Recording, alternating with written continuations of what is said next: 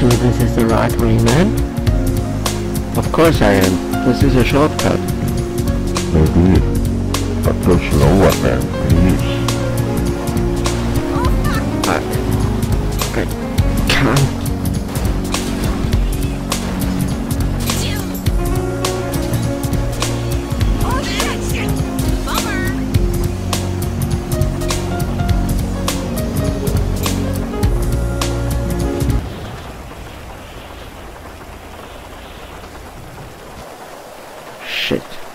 That car is dead now.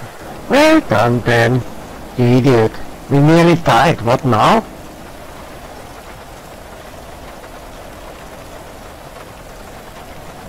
No signal. We're gonna need to look for help somewhere.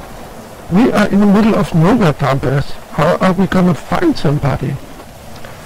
Let's first go back to the road. I think I saw a house somewhere up there.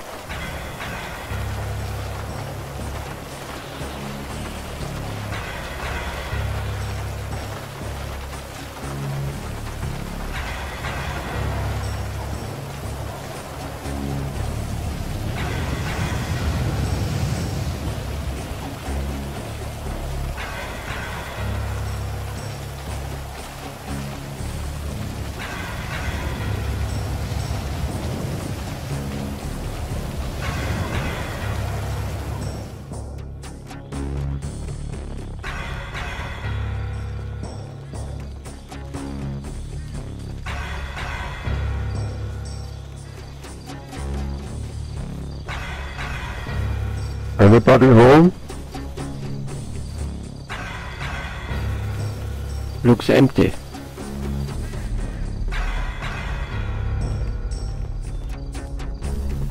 Maybe it's a abandoned. It looks like that.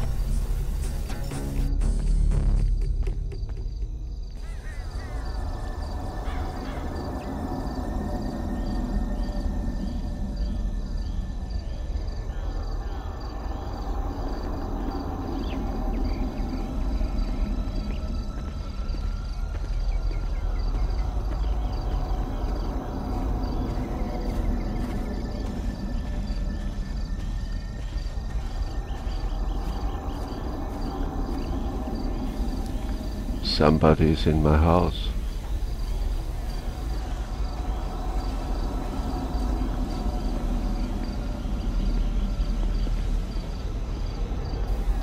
Who are these people? At least they don't seem dangerous.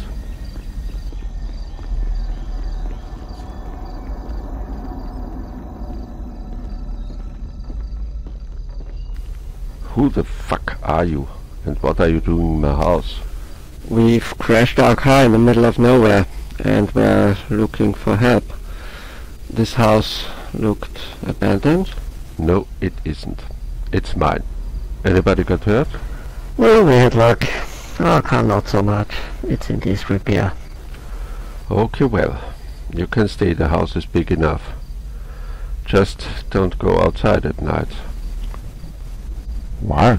There's something wrong with these woods. I don't know more than that. Don't ask. Well, we hadn't planned to go out at night anyway. So that's that. Damn it, I left my phone at the rack. And? We got no signal here anyway. We can fetch it tomorrow. But I need to check my invader page.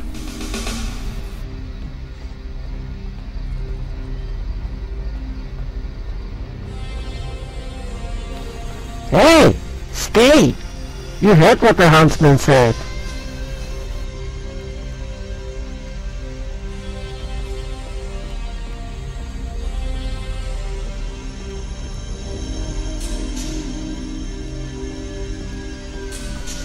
I fear Sheila went outside. Why the hell would she do that? Didn't you hear what the huntsman said? I guess she doesn't care. She cares more for her mobile, which she obviously left at the car. Okay, I'll go and look for her. You two stay here.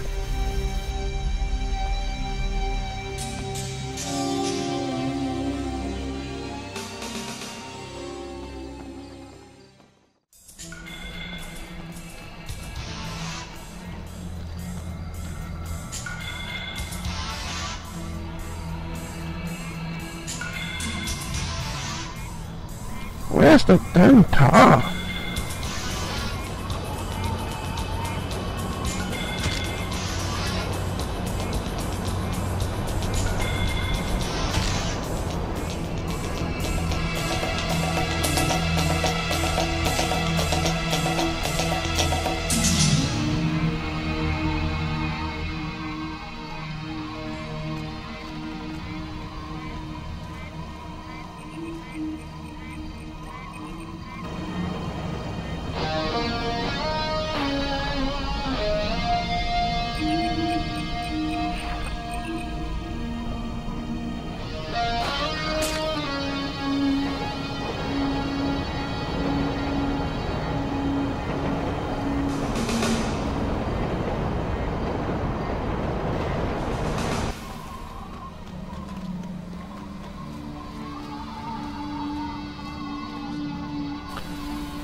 Damn it. There is something wrong with these woods. Sheila's dead.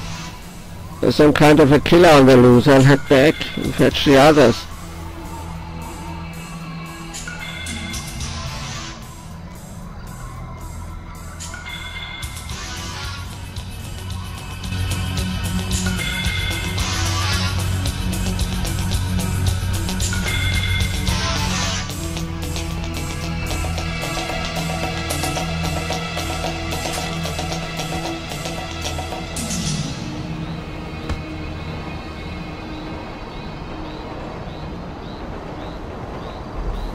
Where are your friends? I don't know. Sheila seemingly forgot her mobile at the car, went out, and then went after her. That's the last we heard of them. And that will be the last forever, I guess. Told you there's something wrong.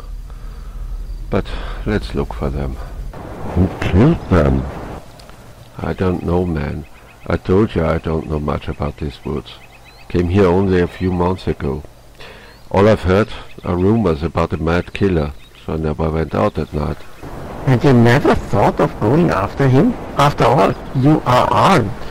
To go after him, I'd need to know more about him. And I don't want to know. All I want is a life in peace which you folks disturbed. Come to think of it, that would make me the perfect suspect, I guess. But I can assure you, all I kill are animals. I want to know more about that stuff. Then you will have to visit the cult up in the mountains. But beware, they are not friendly to visitors, but maybe someone up there can tell you more about it.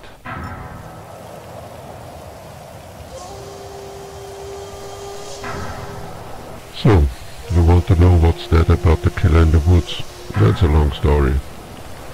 A long time ago, in the house the huntsman lives who sent you to me, They lived a family of three, the Bannisters. A father, Charles, a mother, Hannah, and a son by the name of Thomas, called Tom.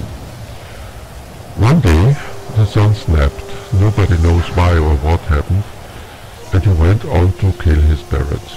Then he vanished in the woods. Police searched, but never found him. So he was declared dead, probably fallen down a cliff or something. But he wasn't, it seems, because the nights in the wood became dangerous. Every now and then someone wound up, stabbed to death. Soon rumors spread that Tom Bannister is still out there, killing random people. Hell do I remember the night they chased him. Everywhere were choppers lighting up the woods, and lots and lots of policemen searched the woods. They looked under each stone, and they found Tom Bannister, indeed, still alive, a wild animal of a man who gave them the fight of their lives. Though only armed with a knife, he took out a lot of them, before a shot to the head finally stopped him, already bleeding from dozens of gunshot wounds. The body was carried off, and everybody returned to his business. After all, Tom Bannister was dead, as someone can be, wasn't he? Well, that's what everybody thought at least. Indeed, for a few months, the woods were safe, or at least seemed to be. Nobody died at night. But then, it started again. Every now and then the police conduct another search, but they never find anybody. And thus it is for more than 20 years now. Nobody knows who kills all the people. Tom Bannister can't be. He is definitively dead and buried. But who is it? And what worries me even more, did Tom Bannister really kill his parents and the people after?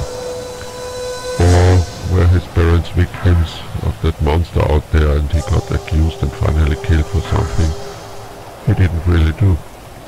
Or did he simply come back from the dead to haunt these woods forever? We will never know.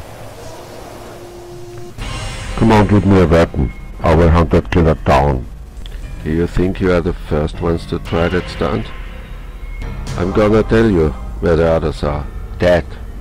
Dead as bricks. You're going after a ghost. We don't believe in ghosts. Only rednecks can believe there even could be something like that. The killer is somebody like you and me. Flesh and blood. Right. And what is from flesh and blood can be killed. I'm no redneck. And I'm not dumb either. Not like you who came back to those woods knowing there's a supernatural killer on the loose at night. You don't think we have a right to fight that guy? He killed my girlfriend and her boyfriend. We want revenge. Ah, yep. I know the saying. Revenge is a dish best served cold. Right? Wrong. You will wind up dead like your friends. We won't. We are not as dumb as the people in horror flicks. We stay together and don't split up. Why is he going to kill us one after the other if he never finds us separated? It's only a knife. Remember what you told me of the tale of that old man? Tom Bannister had only a knife too, and he took one hell of a lot of policemen with him. You are only two. Easy praise if you ask me. Three, if you come with us. Sounds less like an invitation than a threat. But as I have some combat experience indeed, maybe I really can be of some help. You know where I keep my weapons. Take the one of your choice and let's go. He's quiet. Of course he is, but I sense him. He is near. He's watching us.